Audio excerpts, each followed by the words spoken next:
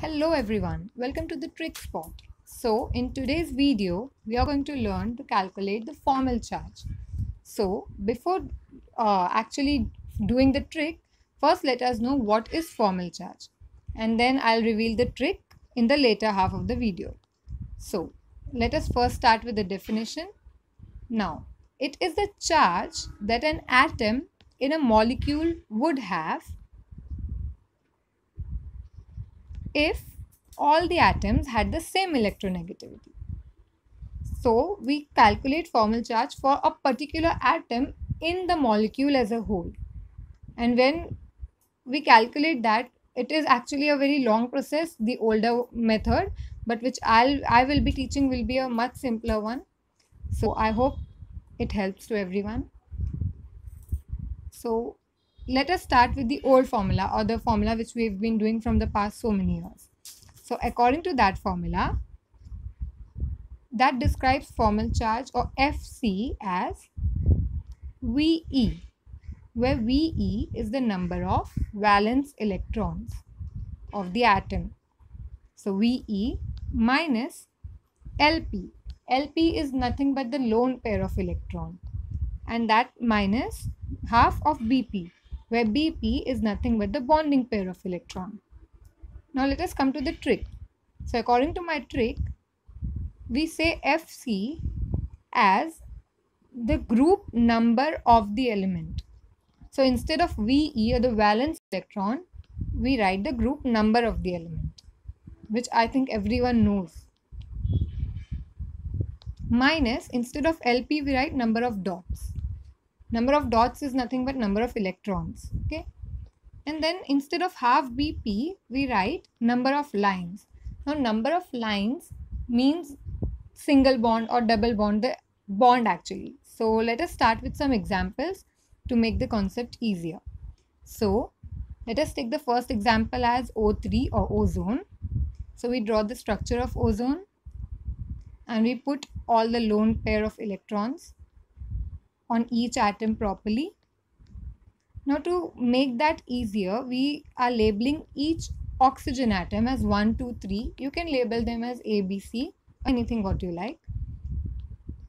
So let us start with the first one. So for, for first one, we write FC for 1. Then the first thing is group number of the element. Now we all know that oxygen belongs to group 6. So we write 6 over there minus number of dots. So there are 4 electrons. So number of dots is 4 minus number of lines. So this oxygen is linked to another oxygen via a double bond. So we write 2 bonds, 2 lines, 2 bonds. So we write 6 minus 4 minus 2 which becomes 2 minus 2 which is equal to 0. So the formal charge in the first oxygen atom is 0. Now let us take the second oxygen atom. So we write Fc for 2.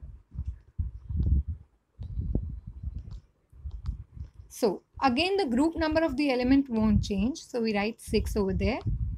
Then number of dots.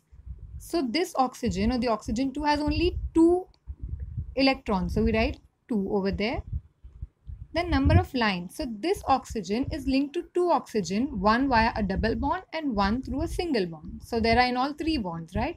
Or three lines as we say. So that is what we write 3.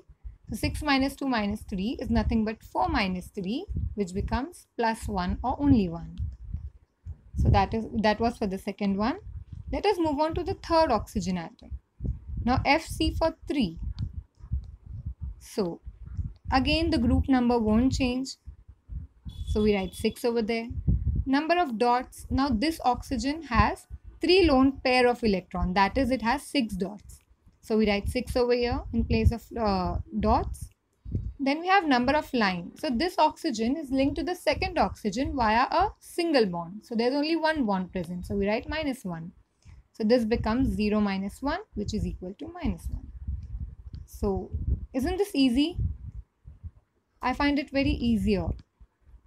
I hope you all do. So this was the first example which we've taken of ozone or O3.